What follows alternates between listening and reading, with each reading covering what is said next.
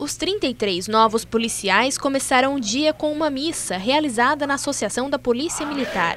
Soldados e oficiais receberam familiares para uma bênção especial, marcando o início de uma jornada. Essa é a primeira turma de soldados deste ano formada em Tubarão. Antes de chegar à formatura, eles passaram por um curso em Florianópolis, com duração de cinco meses, estudando técnicas militares.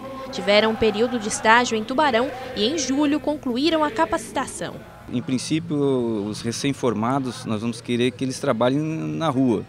Né? Estão policiais novos, aí, com energias novas, então estão ansiosos para que demonstrar o trabalho da Polícia Militar para a sociedade.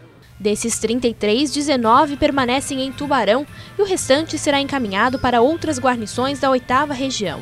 O acréscimo no efetivo está sendo considerado também uma renovação das forças da Polícia Militar no Estado mas também é um acréscimo de iniciativa, criatividade, de força, de juventude, de disposição para o trabalho. É isso que a gente espera desses novos policiais que vão trabalhar. Essa formatura teve uma característica em especial. Todos os formandos são bacharéis em alguma área e a intenção do comando da PM é utilizar o conhecimento que cada um adquiriu no curso de nível superior.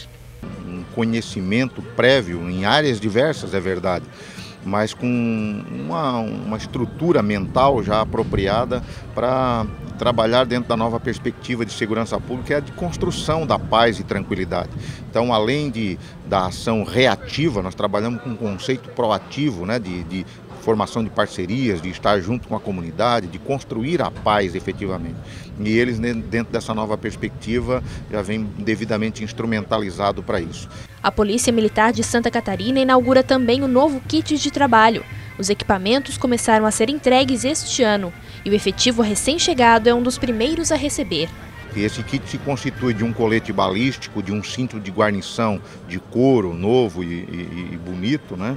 uma pistola .40, um bastão policial militar, um par de algemas e um espargidor, um espargidor de pimenta que este kit de proteção individual que ele recebe hoje no ato da formatura fica com ele como propriedade até que ele passe para a reserva ele só devolverá quando estiver passando para a reserva. E aqueles itens que precisam de é, atualização, ele irá atualizar a cada tempo.